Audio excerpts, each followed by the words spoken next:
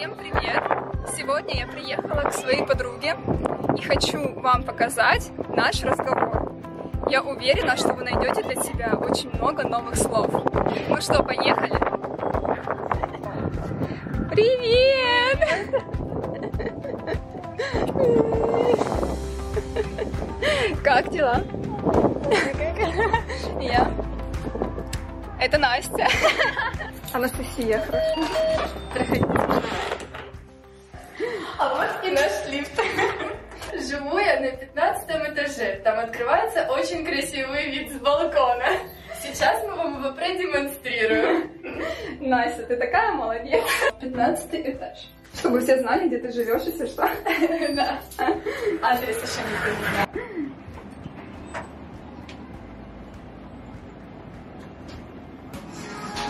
Настя, с днем рождения!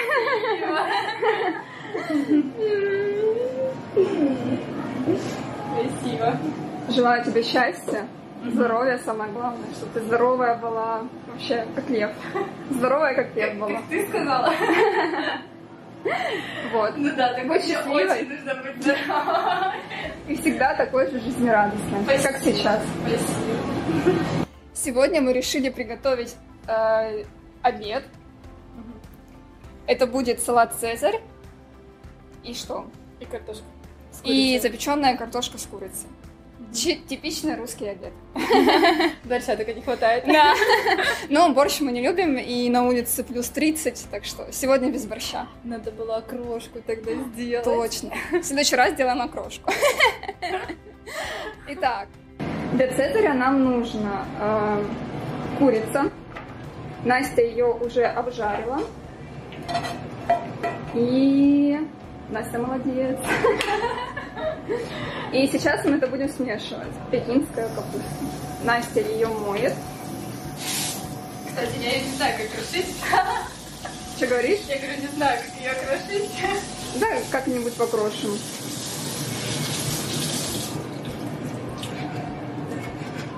Настя режет ножом капусту. Теперь нам понадобятся помидоры. Настя, не любишь помидоры? Я очень люблю помидоры, особенно помидоры черри. Помидорка. Нам нужны еще сухари. Здесь уже почти все готово. Опа, опа. А здесь у нас картошка.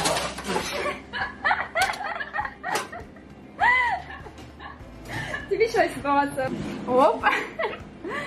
Ой, посмотрите только, это картошечка с мясом. Итак, здесь у нас листья салата, помидор, майонез. Ну, мы каждый сам себе в тарелку будем ложить, чтобы не перемешивать. Сухарики. А, и здесь еще мясо. Мясо, салат, помидоры. М, Хозяюшка. Итак, заглянем в русский холодильник. Оп. Итак, у нас здесь есть сыр, сок, груша, торт. О, это же шпроты. Вы только посмотрите, это вообще прям... Это типичная русская просто еда. Микрофон в холодильнике. Ну, ладно. Апельсины, сок, сосиски. Сосиски с сыром. Что-то у нас здесь под фольгой. А, это синабоны. Микрофон мы уберем из холодильника. Ого, Настя. У тебя так много шоколада. Дарили на работе. Яйца. На раб... Тебе на работе подарили? Да, я, короче, пришла на новую работу, ну, на новую точку.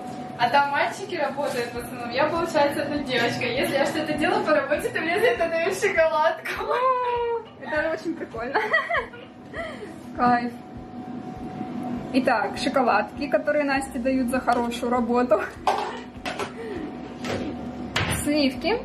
Еще одни сливки. А зачем тебе две упаковки сливок? Одни заканчиваются, а вторые я еще не открывала. Сегодня их купила. А, посмотрите, это же сгущенка. Это же сгущенка. Написано цельная, сгущенная с сахаром. Молоко. Обожаю, это просто мой любимый продукт. А, типичный холодильник это типа вот где там семья, четыре ребенка, два ребенка, да, это будет борщ, что-нибудь на второе, типа макарошки с котлеткой. Котлеткой. А, Огурчики, помидорчики, закаточки какие-нибудь. Вот это, мне кажется, типичный холодильник. Да, А это так, типичный холодильник холостячки. Да. Настя холостячка. Тем временем у нас готова картошка с мясом. Одну-две. Не одну. Настя, почему ты любишь картошечку с мясом? Потому что она быстро и легко делается и получается очень вкусно. Да. Я тоже люблю. Хватит или еще? Да, мне хватит. Настя, почему в России так жарко? Все думают, что у нас здесь холода и медведи бегают, а у нас плюс 30, а на солнце, наверное, плюс 40. Но мы находимся в умеренном поясе. Поэтому у нас и холодно сильно, и жарко. Да. И душно, самое не очень. Нужно, потому что мы в городе, и тут слишком большая загазованность. Да, и сильно много домов. Согласна. В деревне бы, да, пожить? О, в деревне это было бы шикарно летом проводить, особенно рядом с озером. Да. А. Ой, ну наконец-то, наконец-то кушать. Ну что, бон аппетит? Бон аппетит. Я сейчас, знаешь, что хочу вот сюда жалюзи повесить. Чтобы, Мгм. типа, когда солнышко закрывалось и было прохладненько. Да. Солнечная сторона, да, получается, квартира. И из-за этого жарко. Да вообще, реально, в городе жарко.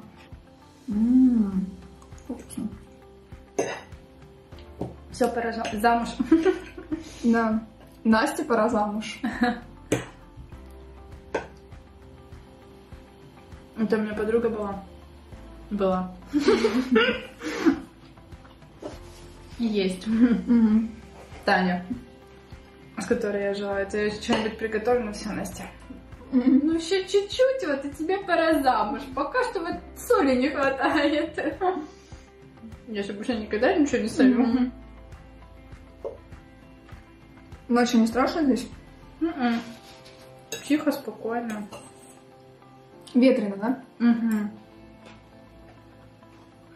У нас еще внизу забор. Типа что-то собираются строить. Мгм. Его, я не знаю, или от ветра он поломался, или его кто-то изначально поломал. И теперь, когда сильный ветер, он воет. Это если я не засну, то потом невозможно при этом ветре уснуть. Да. У меня соседи в квартире тоже э, одну ночь, однажды я рассказывала, нет, как они подрались. Тоже история. В общем, они соседи, не которые сверху, а которые через квартиру выше. То есть, получается, например, я живу там на пятом этаже, а это соседи на седьмом этаже. И, в общем, э, это ужас был. Ночью крики, там, сопутствующие все звуки, что э, там дерутся. Вот, мы уже думали, может быть, милицию вызывать, но потом успокоилась. Я так в кино хочу. Я, у меня уже ломка от кино. Я не была в кинотеатре, я- вот как начался этот карантин, и до этого еще не была. Я последний раз ходила, я даже не помню, на какой фильм. Не помню, на какой фильм ходила. А что там шло в феврале? Хороший вопрос. Не помню. Джентльмены. М, мгм. Это единственный фильм последний, который я помню. Мы хотели сходить на джентльменов. А, мы сходили, и потом хотели сходить на Мулан. Ну, соответственно, уже все Там перенесли. фильм был, да? Мулан, Да. по мультику, да. А, премьера так и не состоялась, да, Мгм. получается? Я тоже хотела на Мулан. Пошли вместе. Мгм. Когда он откроется? Наверное, в сентябре. Я очень надеюсь, что раньше. А я только хочу в зал сходить. Уже два месяца там не было из-за этого карантина. Ты занимаешься, да? Ну как, в зал хожу? Дома я не занимаюсь. Ты с тренером занимаешься? Давно. Сейчас нет, сейчас в основном э, либо у меня просто кардио-тренировка, либо я на групповые хожу. М, А с тренером, не знаю, как-то накладно слишком. да. Для того, чтобы вы просто постоите и поболтаете. Да, он даст упражнения, но эти упражнения, ну, по факту, надо себя просто заставить и начать самой выполнять. А я не хочу. Я лучше на групповых схожу.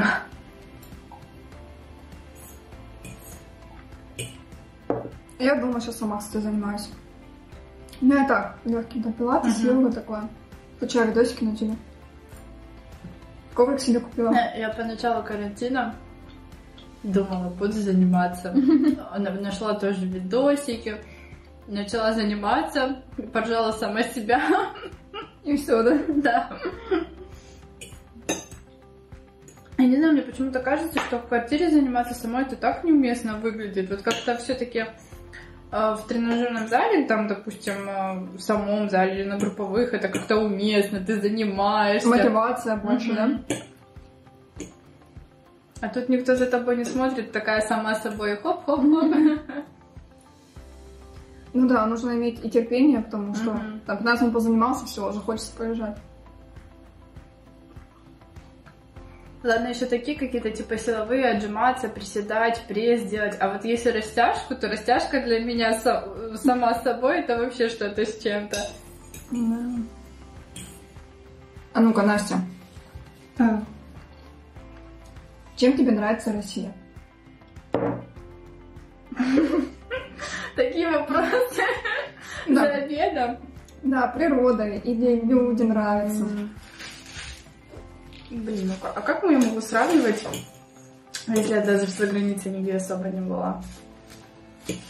Так, давай, три положительных качества. Да, три положительных и три отрицательных качества в России. Мгм. Это может быть что угодно. Ну, ладно, природа, соглашусь, у нас красивая. Очень хочу посетить Алтай. Угу.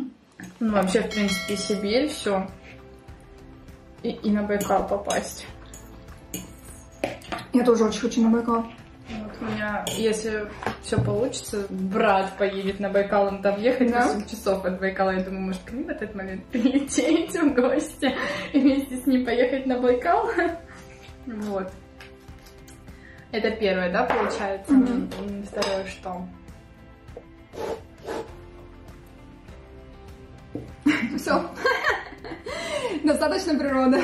Да.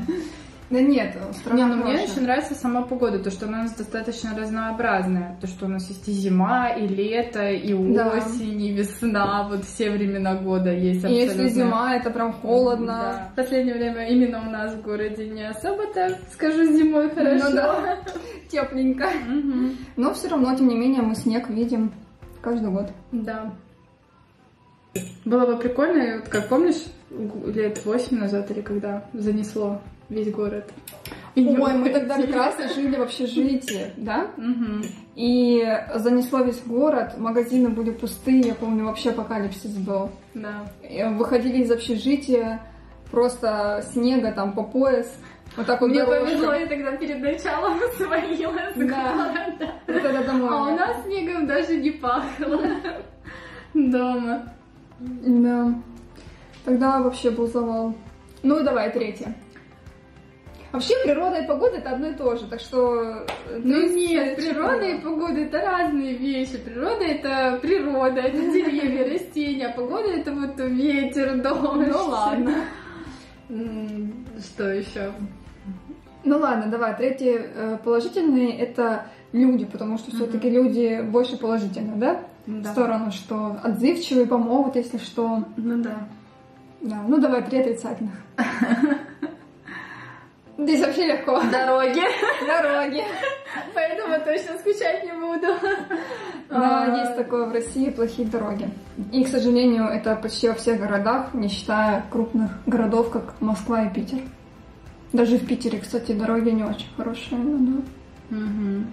Вот по Питеру я буду скучать, если я Ой. уеду. Вот Питер, вот Питер, природа и погода. Ну все, может, ты меня в ступор поставил. Теперь думаю, что мне не нравится Россия. Ничего, все тебе нравится, Настя. Ты бы сразу сказала, что нет. Он дороги тебе не нравится. Да, дороги мне не нравятся, согласна. Мне нравится прямолинейность русских. Потому что во многих странах э, некоторые не понимают этой прямолинейности, то есть многие э, думают, что мы в какой-то степени злые, например, mm-hmm. или там грубые. Но когда у нас спрашивают, как дела, мы действительно объясняем, как у нас дела. То есть mm-hmm. мы действительно говорим, да, вот там хорошо или плохо, да, у меня это случилось, то произошло. А в, в других странах есть такой момент, что там спрашивают, как дела. Ну, просто это этикет, uh так э, положено как бы спрашивать, все спрашивают. отвечать I'm fine. И никому не интересно, как у тебя на самом деле дела. А в России, если у тебя спросили, как дела, на человеку действительно интересно. Он хочет послушать чтобы ты рассказал ему, что у тебя произошло, может быть, как-то помочь. И это, конечно, очень хорошее качество на самом деле. В этом есть мы русские, в том, что мы всегда поможем друг другу.